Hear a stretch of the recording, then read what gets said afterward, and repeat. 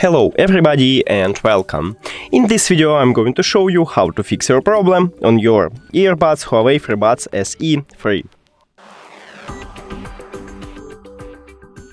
So, open the application and right now we can see that the charging case is open and uh, right here we have information that it's connected but if we click here we have this problem. So what we should do? Click on these four dots at the right top and now go to the country and region. And right now I have United States, so this is a problem. Let's change it to, let's say, United Kingdom. Switch. Now open the application. Next. Agree. And now we should add this device. Oh, actually, this time it's added. Click on it. And uh, they ask for the update, so click Enable.